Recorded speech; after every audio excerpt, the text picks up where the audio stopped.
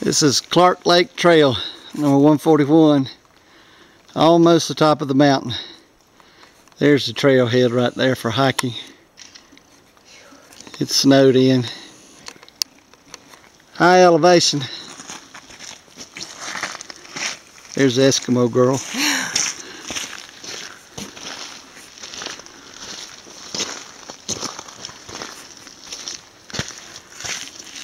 It's wet up I think it's passable.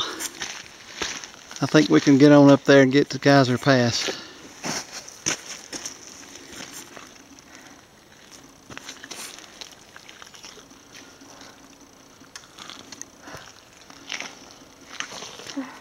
Lots of white stuff.